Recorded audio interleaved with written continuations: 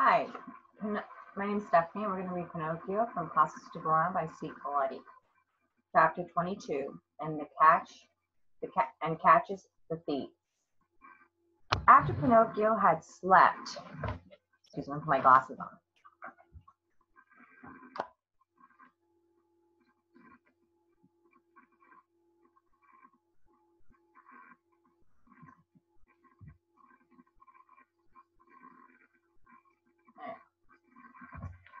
After Pinocchio had slept soundly for then for more than two two hours, he was awakened about min, midnight by the sound of whispering and voices saying "Hist, hist," which seemed to come from the barnyard. Thrusting the end of his nose out of the door, he saw four animals with mottled co- coats, something like cats. But they were not cats. They were weasels, bloodthirsty animals fond of eggs and young chickens.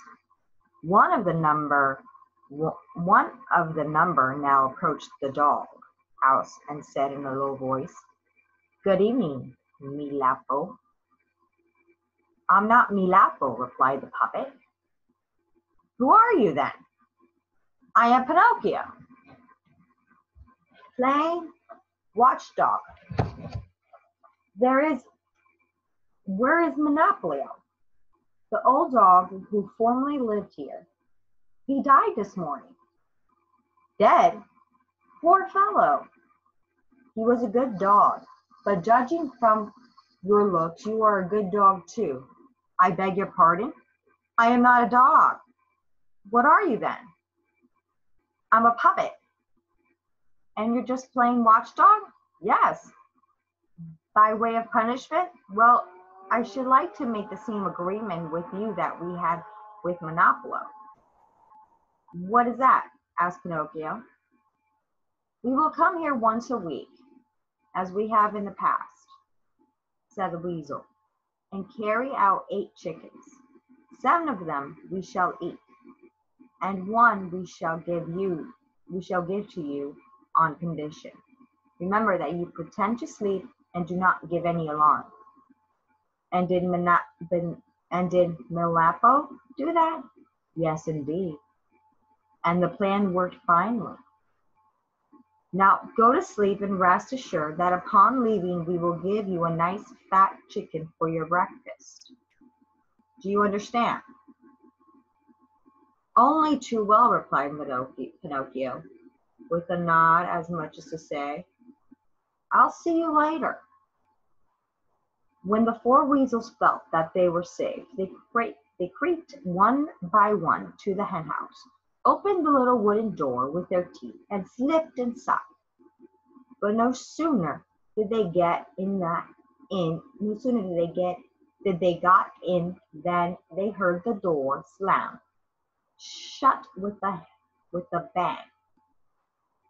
It was Pinocchio who had closed the door, and not content with that, he rolled a big stone up against it to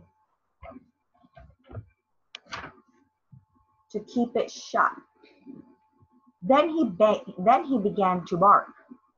Bow, wow, wow, wow, just like a dog.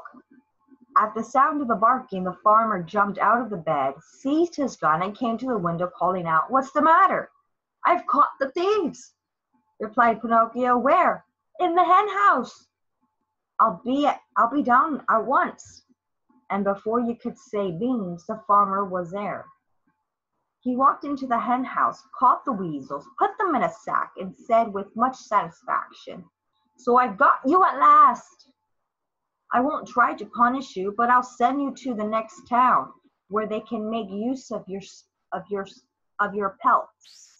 Then turning to Pinocchio, he said, "How did you how did you happen to discover their plot?"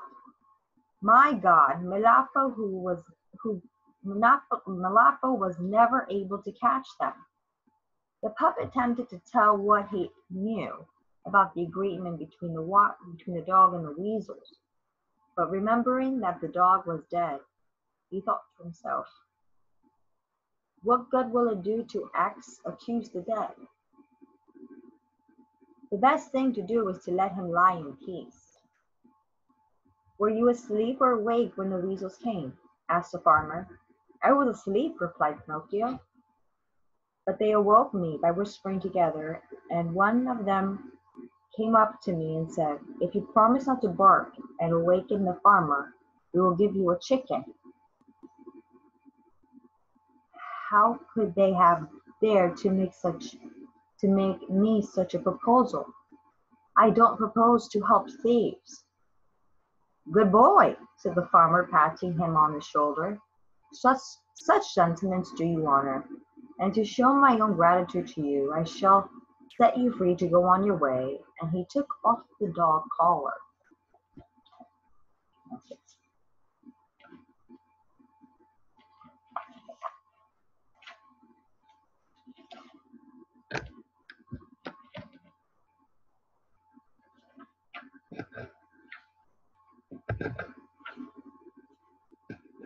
Oh, that's it.